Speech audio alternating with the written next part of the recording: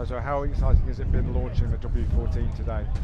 It's always exciting to see the car coming together first time, and uh, obviously until until this morning it's all bolts and carbon pieces uh, everywhere. And now it's it's a car, and um, having it seen out there running for the first time is always a good moment.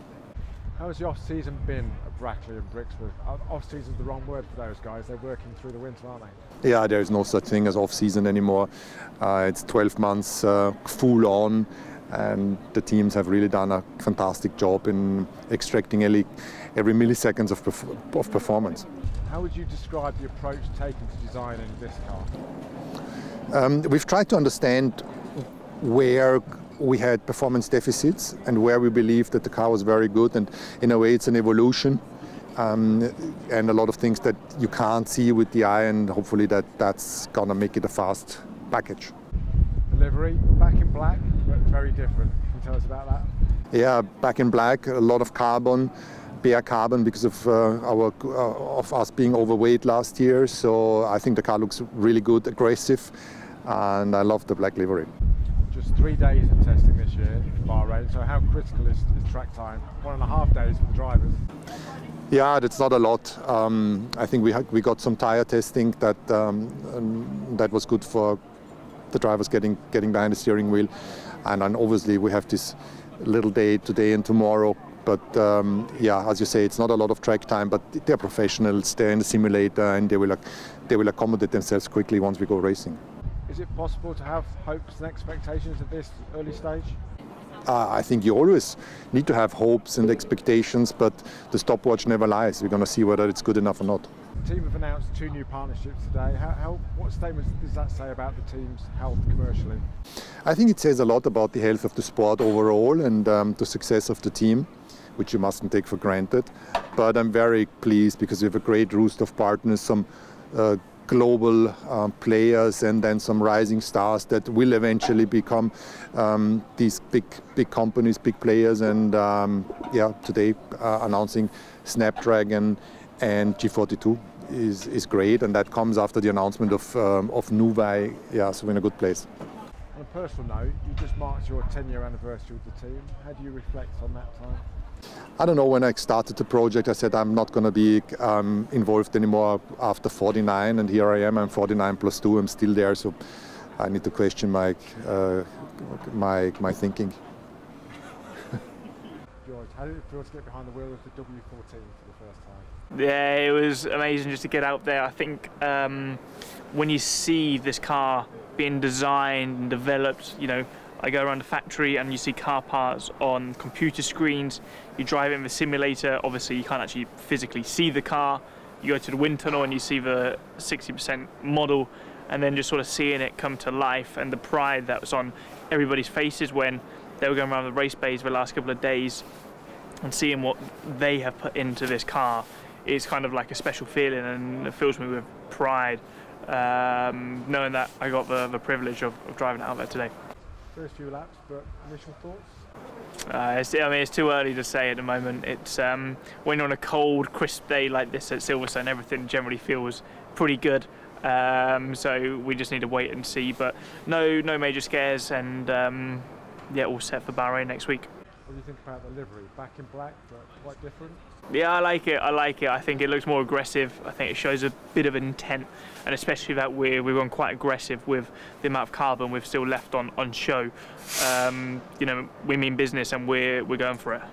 As such, is it possible to have expectations going into the season, or is that foolish?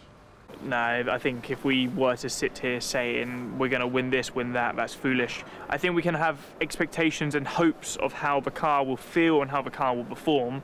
But if you know Red Bull and Ferrari have found the same amount of lap time we have, we're in the same position as we were last year. Um, so you've got to be, you can't be naive and thinking we're going to be right back there because we just don't know. Can't wait to get on track there in Bahrain. Yeah, absolutely, ready for it. Lewis, how exciting has it been to launch the W14 today? Uh, it's ex as, as exciting as it always is. Um, this it's one of the most exciting periods of time.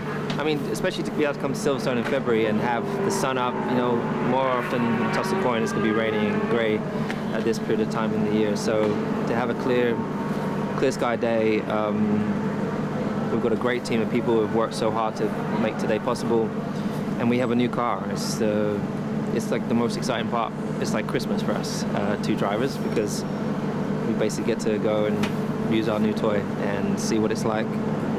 Hoping that um, all the work really pays off in how we feel. What was the first thought, thoughts though, seeing the car come together? You're obviously sitting in, in parts, but this is the first chance to see it all together. Yeah, honestly, I've, I mean, I've been here for such a long time here within the sport, and that's always been like one of my favorite um, experiences is seeing, standing and watching all these engineers who have been at their desks working so hard for countless hours finally see those pieces that they've worked on being built and made and put together. Um, and it just coming together like a like a jigsaw puzzle, you know, but just perfectly engineered. Um, that's for me like the most exciting. I feel like a kid in the candy store. So um, yeah, it's exciting, and and as I said, there's only two of us that get to drive the, that thing. So um, I feel incredibly privileged. What's the first thoughts on the livery? Back in black, but different. Yeah, I love I love the black. I loved the black before. I preferred it to our livery last year, particularly.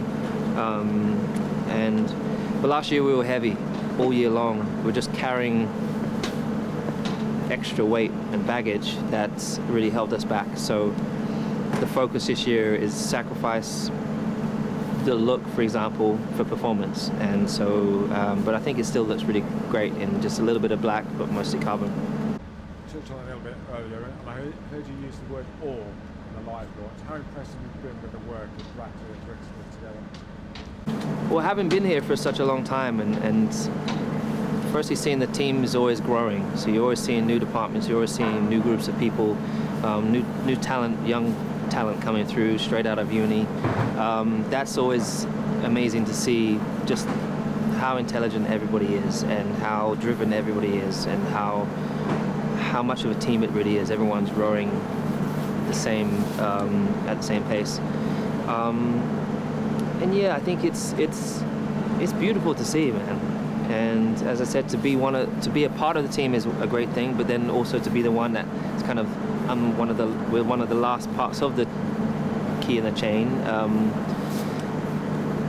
uh, uh, one of those links, which then hopefully gets it to go around and do a good job and take it across the line, hopefully to the fastest it can possibly go. So that's a that's an awesome position to be in. Today's the first chance to get in the car. How critical is that time in the car, especially with only three days of testing this year? Uh, every single second that we have on track is going to be critical. Um, yeah, we have even less time than ever before. So, from a driver's perspective, understanding your tool, understanding how your body reacts, um, how you can work with the tools that you're given uh, with setup and all those sorts of things. Understand where our issues are um, as early as possible so we can fix them as early as possible. And hopefully, there's no issues. That's always the, the goal. But there always is, and so um, yeah, it's crucial. It's crunch time.